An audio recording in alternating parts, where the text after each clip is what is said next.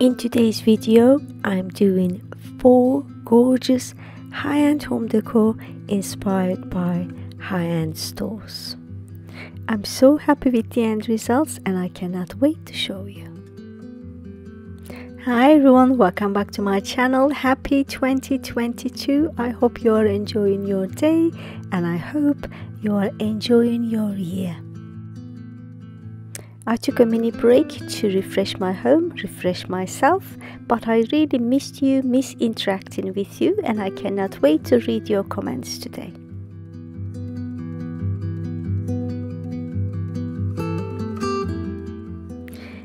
First DIY is from my favorite home store in the whole wide world, Z Gallerie. Unfortunately, there is no Z Gallerie in England, so I had to do my own design. I'm using IKEA 50 centimeter by 50 centimeter cotton cushion covers, only 3 pounds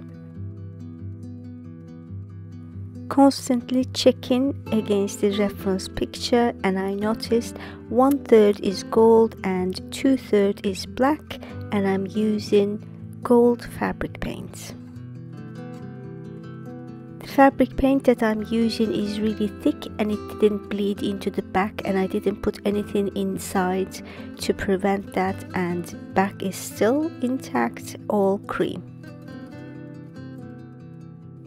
After completing the first layer, I didn't like the tone of gold, so I applied some acrylic paint to make it more subtle gold and it really works this method and the paint still be soft over the fabric as long as you mix it with either fabric medium or fabric paint. I sprinkle some gold glitter while the paint is wet so it can stick and it gave a beautiful beautiful very subtle sheen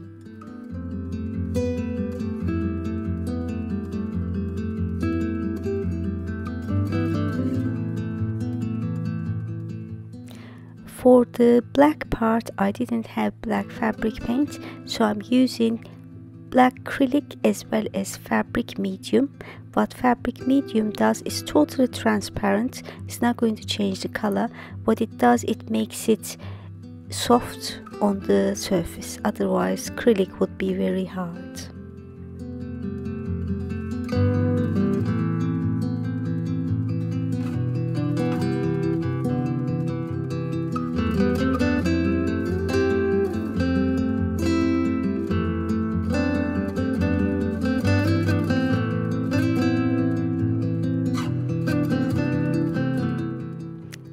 edges doesn't seem to be straight so I'm trying to make jagged the edges where the gold meets black and I'm going to sprinkle some glitter on the black part as well.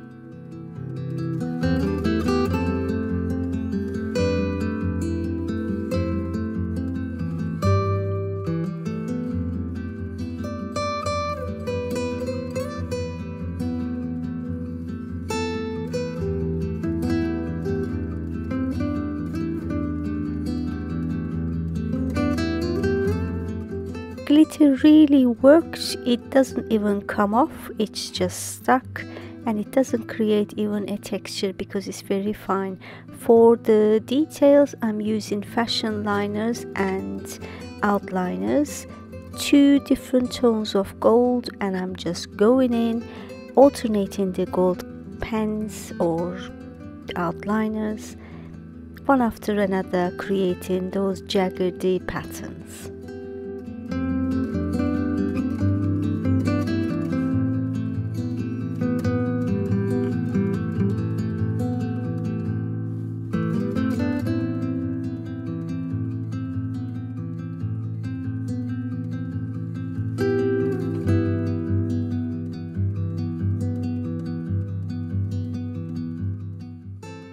While they are wet, I also sprinkle some gold glitter on top as well.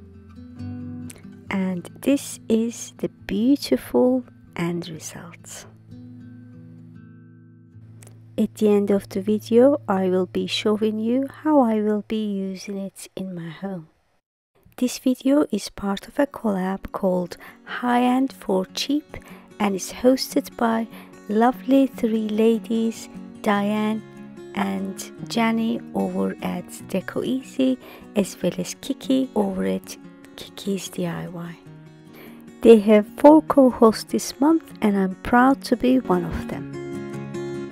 My second DIY is also from Z Gallerie, a beautiful textured ball and I'm using these items to create something very very similar. I'm scrunching up the foil to create this beautiful texture and I'm going to flip it over to this ball while it's drying so it can take the texture from the foil.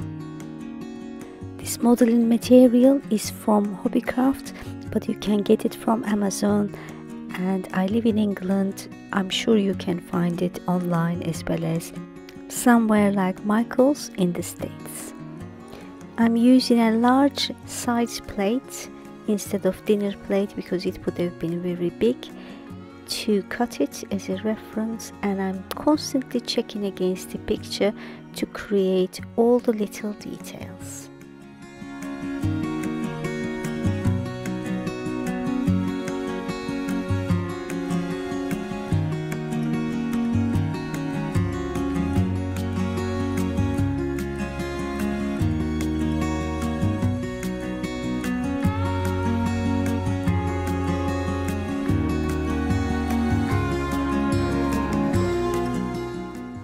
After cutting all the details, I tease the edges to create those jaggedy edges.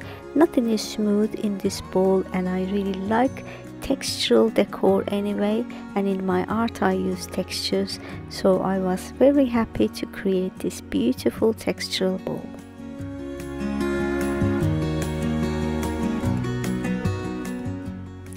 Creases in this foil created exactly the texture that I was seeing on the picture.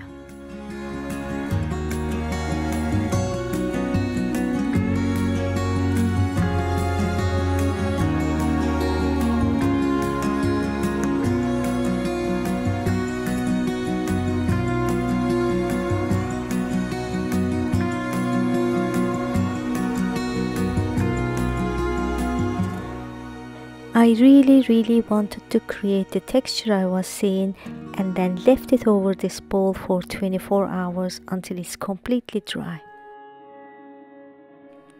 Here's the original texture and here is mine. After leaving overnight it was still slightly wet especially inside because it overturned so I had to use my oven only 100 degrees centigrade for 10 minutes. I took it outside and used spray paint to give it a beautiful gold color.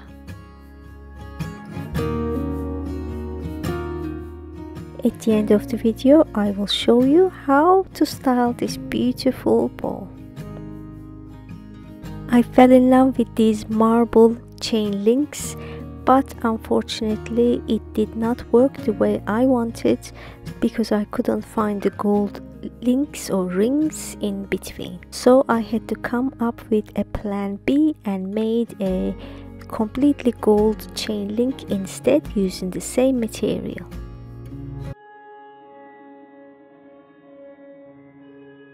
You tell me you're scared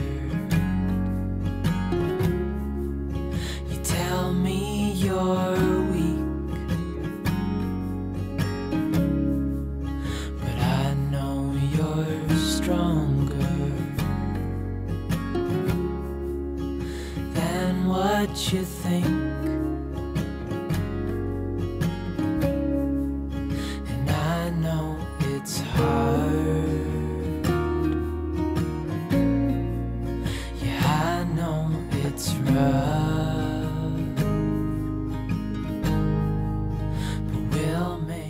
I rolled it until I was happy with the thickness then I changed the length according to my needs.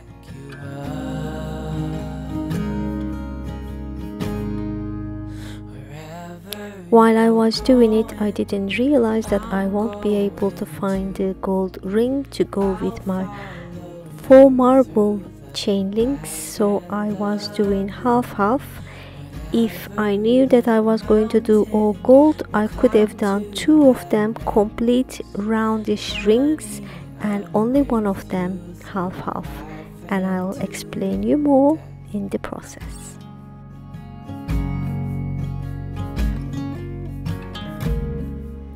I individually made sure that they all fit together and I dried them making sure that they are together because I made it specially fit on each other. However while it was air drying for three days it shrunk and they no longer fit together. So a big lesson learned. If I was redoing this one I would definitely do two of them full complete chain and only one of them half half. I used water and wet my fingers to smooth all the edges.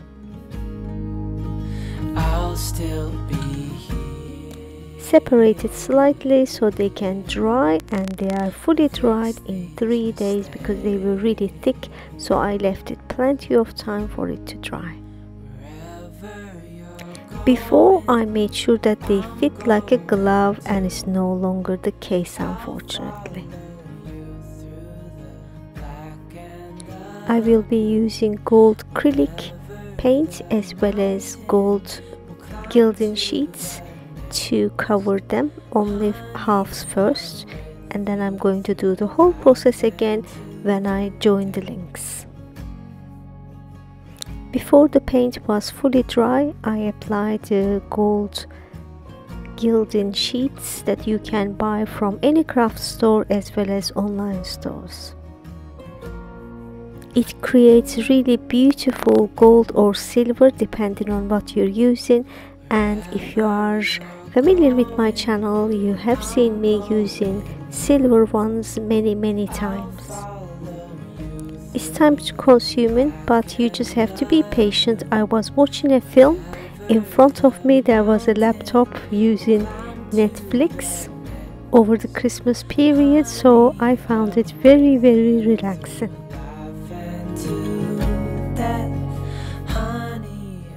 If you find some parts already dry, just apply a little bit more paint, wait a couple of minutes, then apply your sheets.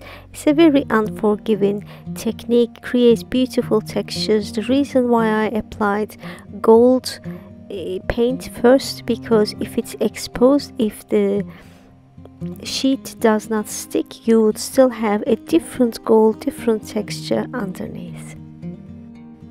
I used hot glue to stick them together and I used speckle to create a smooth joint.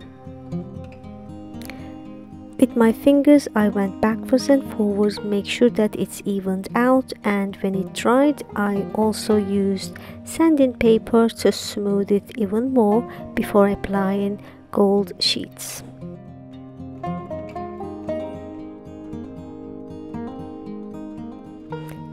Difficult to leave in laying flat because both sides are wet so I used a glass to dry it.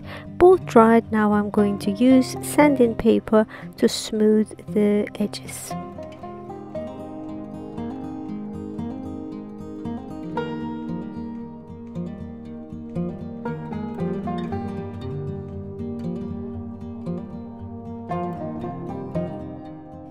It was very easy to sand and I was not 100% happy with the quality but still very happy with the end result. A bit rustic so I call it rustic glam.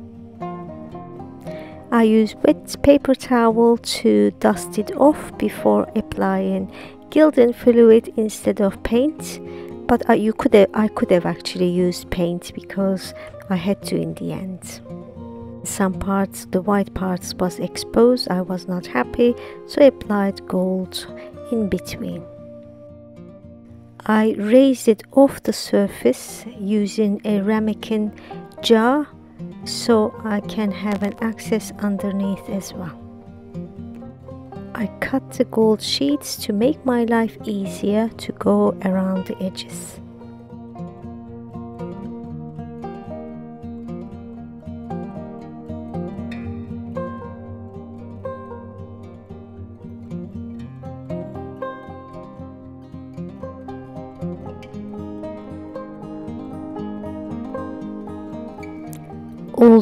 Now let's do the middle link.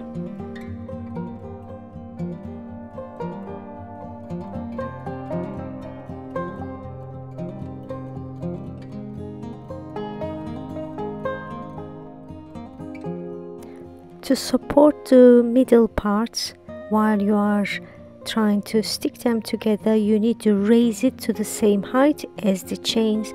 So this ramekin ball was the perfect size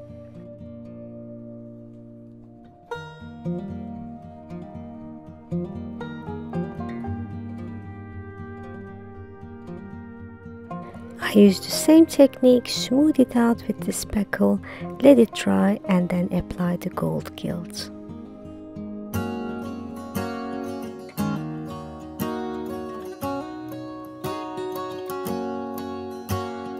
First time I ever saw you, I fell in love when you entered the room.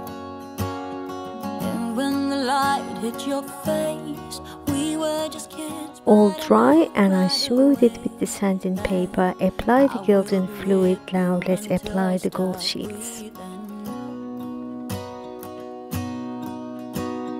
I will keep loving you as long as my heart's beating. Oh, I am so so happy with this chain and I'm definitely going to use it in my home decor I'm going for gold. You have to come back and see what I'm doing in my living room. I used to hate gold, but I'm fully converted. For my final one, I'm using an artwork. It's an inspiration, it's not an exact product.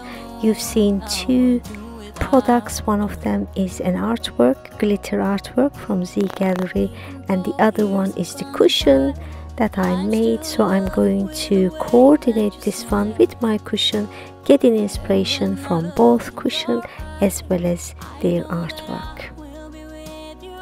I don't like flat surfaces so at the end of the painting process I use side of my brush to create a texture. I didn't have time to put any gesso underneath to create that texture beforehand and I also use the packaging of the canvas to create further texturing. Both black and gold paints are acrylic paints and they are very quick to dry. Doing the same thing, creating a texture on the gold part as well and I apply two coats for both sides.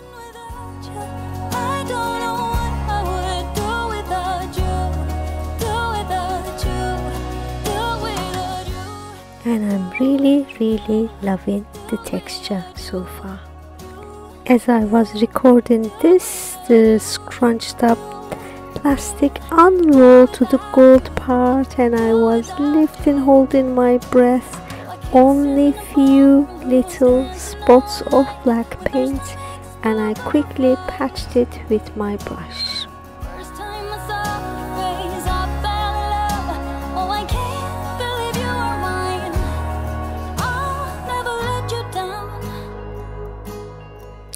They're all done. Panic is over.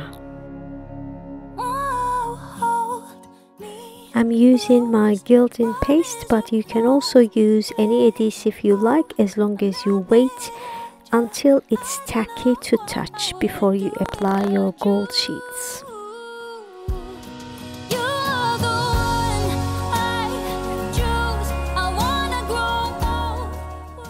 I'm trying to create similar pattern to my cushion so it goes together in the same spots.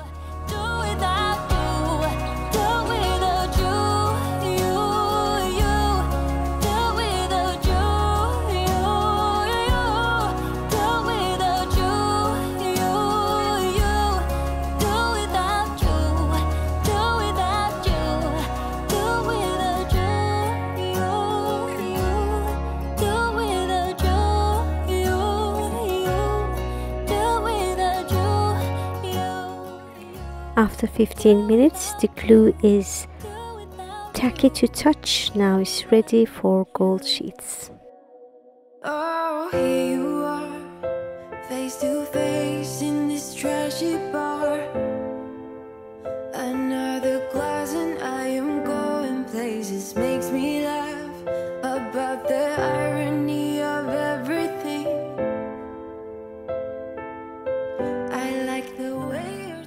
Going to use my brush to reveal my pattern and get rid of all the excess sheeting.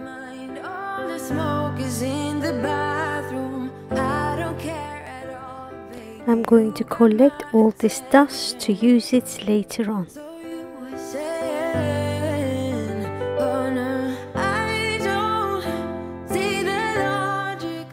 You can leave it like this, but I didn't want to. I created even more texture, more glitter, more glam, so I used this glitter sand. I applied generous amount of Mod Podge, especially in the middle, and then made it jagged the edge.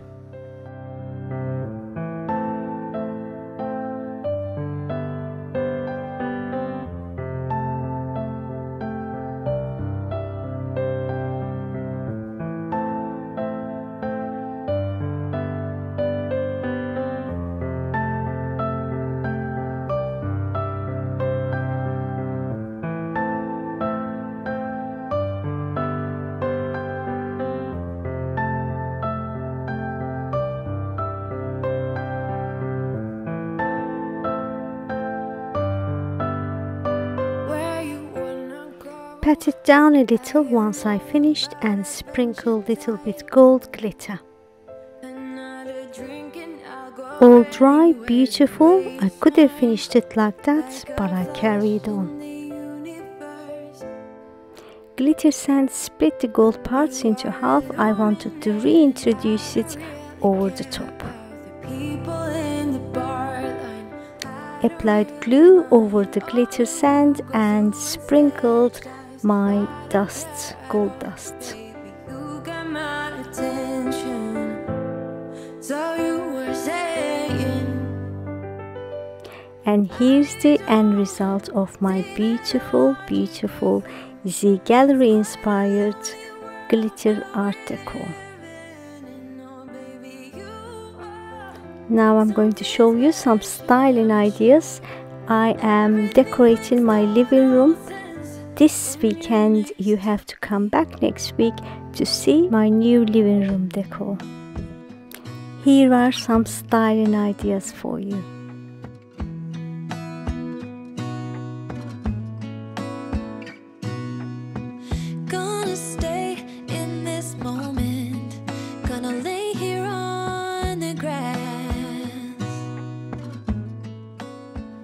I'm so happy with my little glam ball.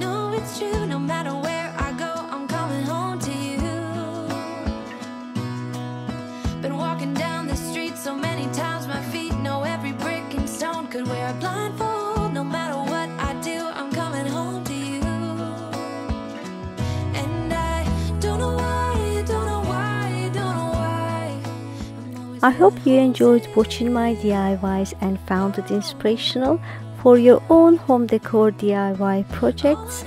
I'm done, but you're not done yet. Please go to my description box below and click in the link and watch all the other ladies' beautiful, beautiful DIY videos. I will see you in my next video. Until then, bye bye.